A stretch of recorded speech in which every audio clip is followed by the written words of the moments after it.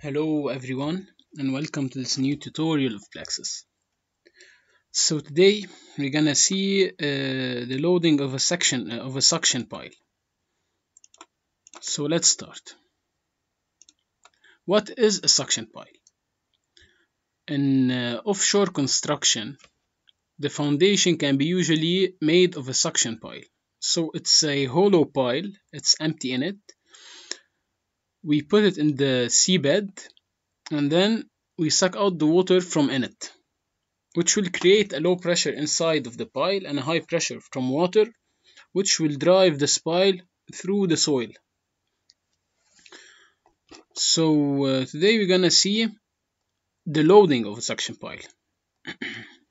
So this is the project properties. You can see the dimensions then the layers will be made of clay. Okay, so to save some time, I made the borehole, I made the material, and this is the soil. So before I start for uh, for an underwater construction, in this case, we're just gonna model a water of a level of one meter, even if it's 50 meters under the water, because the water has no direct impact on the stress due to the pile, since the water is equally distributed on the pile and on the soil. So if you're new to this tutorial, uh, tutorial just subscribe to my YouTube channel and like the video. I always make helpful videos for engineers, especially civil engineers. Gonna start by creating the suction pile. So here we're gonna model half the pile we're gonna use the polycurve uh, the polycurve uh, tool. We're gonna click on 2.500 and we're gonna choose the arc with a 2.5 radius. So let's start.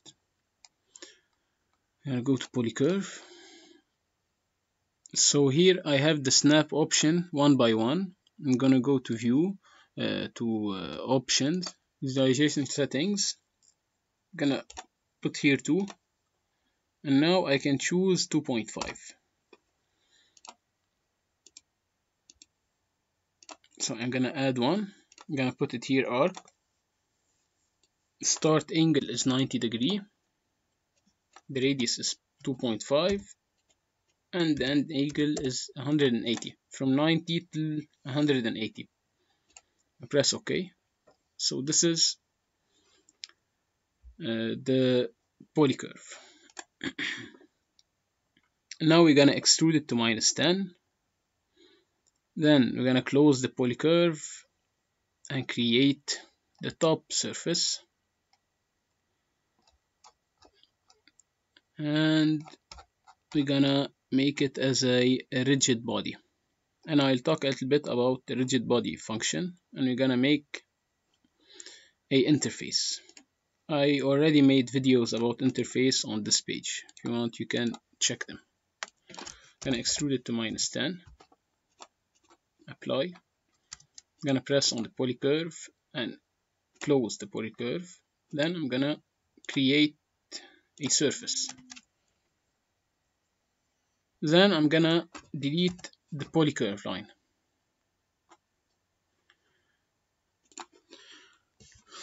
so we've created the suction pile.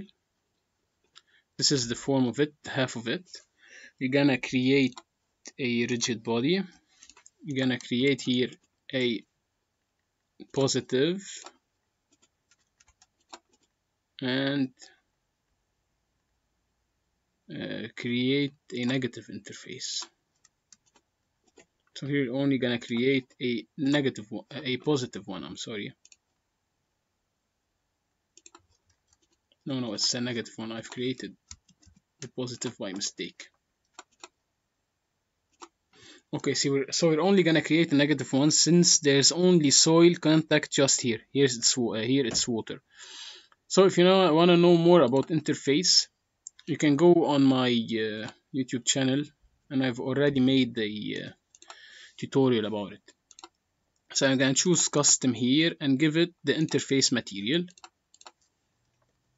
Gonna leave a PDF uh, file attached to this YouTube channel so you can see how to create the material of the interface. It's here. You've already made tutorials about materials and how to create them. So this should be the condition of the uh, of the rigid body let's check it.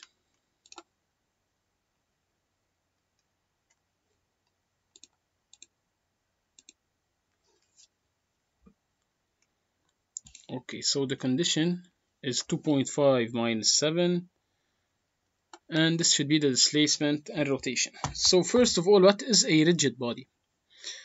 When we're modeling something with a high stiffness compared to the soil and the stress inside the body and the displacement inside the body itself does not does not matter. We can use a rigid body. We will not get displacement inside the deformation of the plate or the rigid body or the stress in it but we can see it's uh, what it what it will do to the soil. So this is a rigid body. So we're gonna choose here 2.5 it will be the reference point which we will put load force. So here we will put it force displacement force rotation moment rotation force.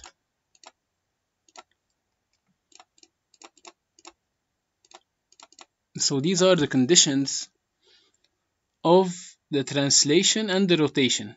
The uh, the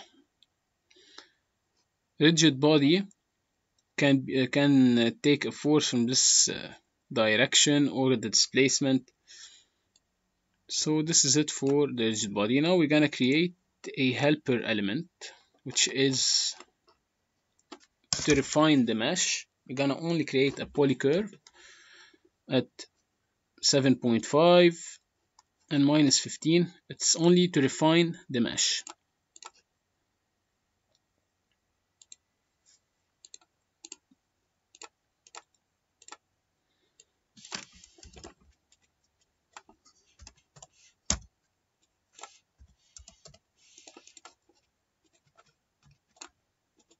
I'm gonna close it and extrude it to minus 15 apply.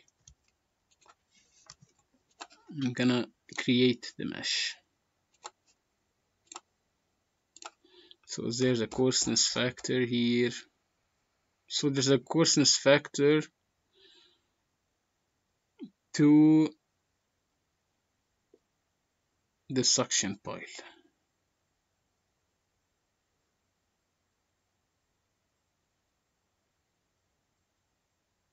okay I'll leave it this way anyway.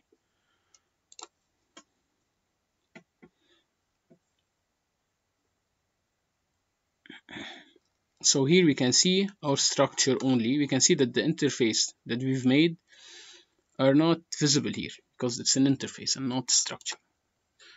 So the flow condition it's plus one. It's head also. I'm gonna create a face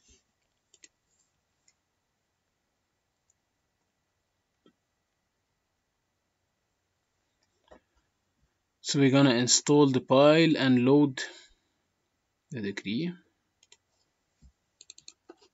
Yeah. Degree force. So I'm not gonna do now all the phases because it's the same. I'm only gonna do loading in 30 degree. Uh, it's 1949. Okay so we're gonna turn on the interfaces and the rigid bodies. We're gonna specify a force here.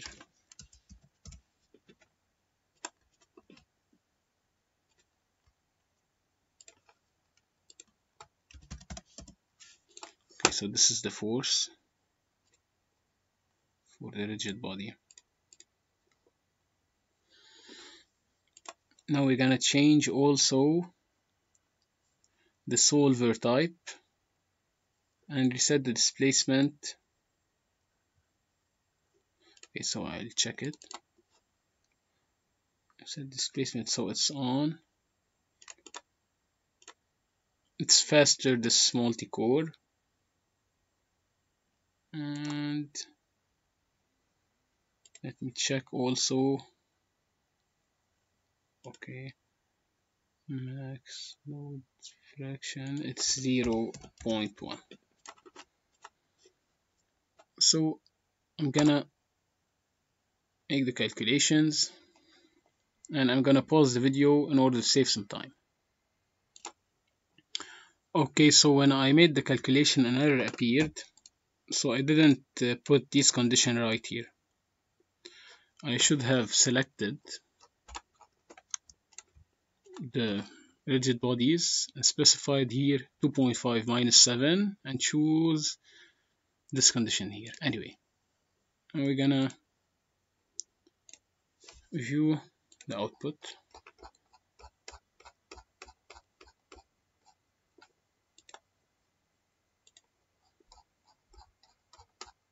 So we're going to see the displacement of the pile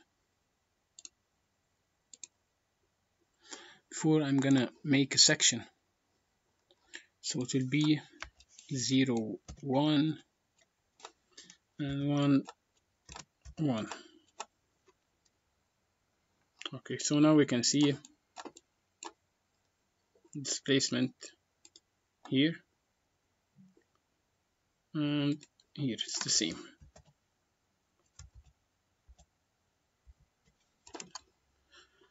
so when pressing on control plus or minus we can change the position of the section you can see the suction pile and how it affects the soil that's it we can see uh, start to see that there's a small strain here. The stress here is bigger. You can see the stress then here is the soil near the suction pipe so thank you for watching this tutorial. Please don't forget to subscribe to my youtube channel. Thank you